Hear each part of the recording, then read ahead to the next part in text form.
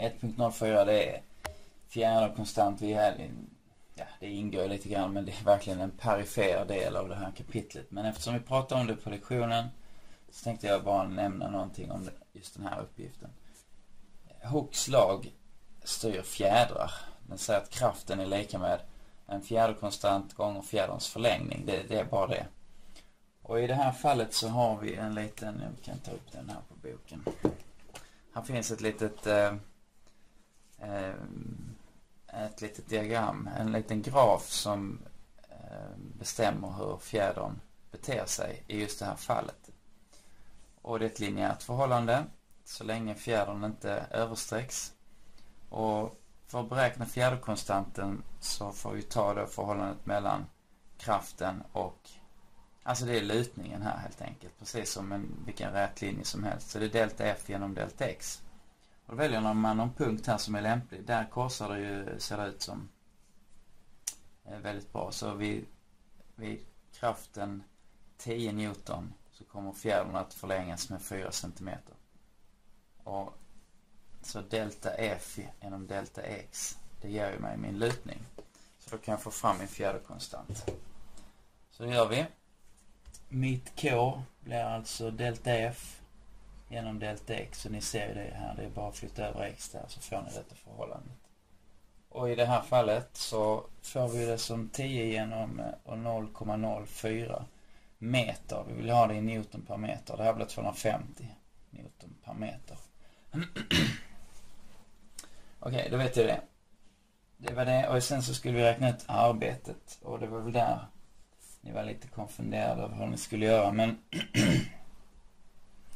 Eh, det här är A. Och i B.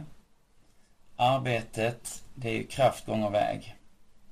Och i vårt fall så är det ju, kan vi använda variabeln x. F gånger x. Men eh, om vi tittar på det här igen, den här lilla figuren. Så då kan man ju tolka det som arean under grafen. Det gjorde vi i förra kursen. Så om jag kan beräkna arean under grafen mellan ehm, eh, när den sträcks 4,5 cm. Det enklaste är att ta från 0 till 4,5. Men man skulle kunna göra det från vilken annan, från 1 till 5,5. Men då får man komma ihåg att då, är det inte, då ska vi inte beräkna hela den arean. Utan det är i så fall den arean vi ska beräkna. Det är arbetet som krävs för att sträcka den 4,5 cm. Antingen alltså den här arean eller den arean. Så det där kan man göra rent geometriskt här. Jag ska visa ett annat sätt att göra det också. Men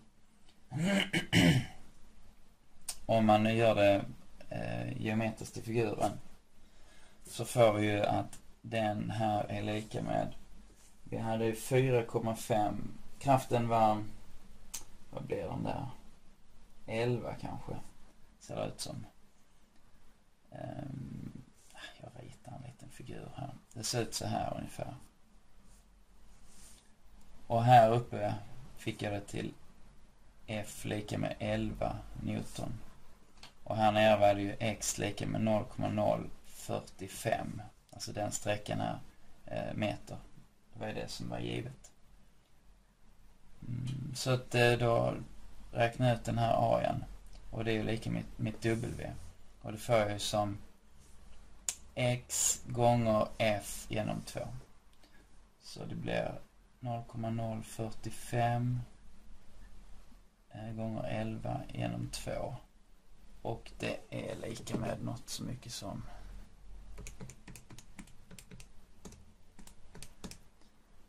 ungefär 0,25 joule. Det där är ett sätt, men eh, ni vet ju också att vi kan, nu har ni ju lite matematik med er.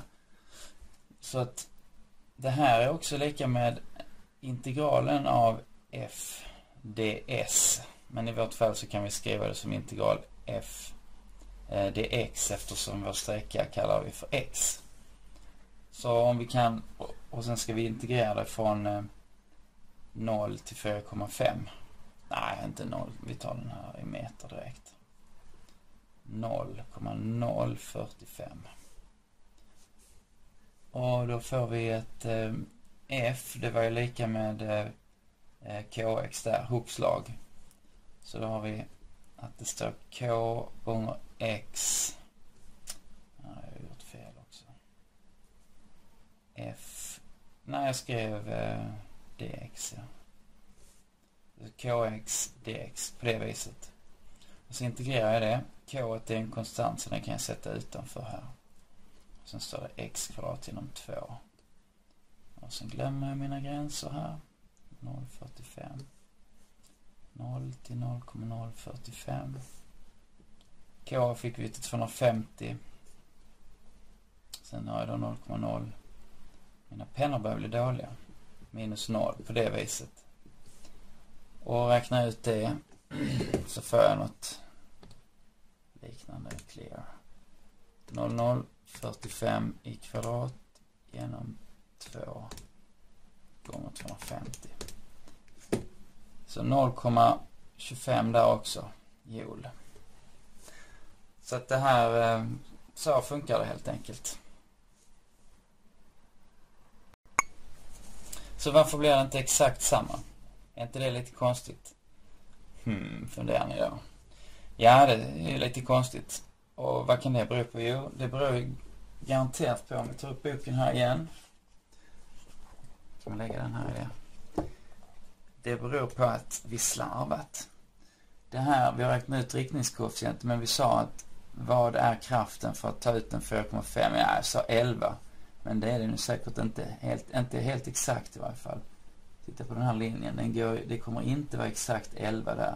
Ni kan räkna ut vad det blir. Lite enkelt. Vi har ju Hooks lag här. Så kraften skulle vara lika med K gånger X. K räknar vi ut.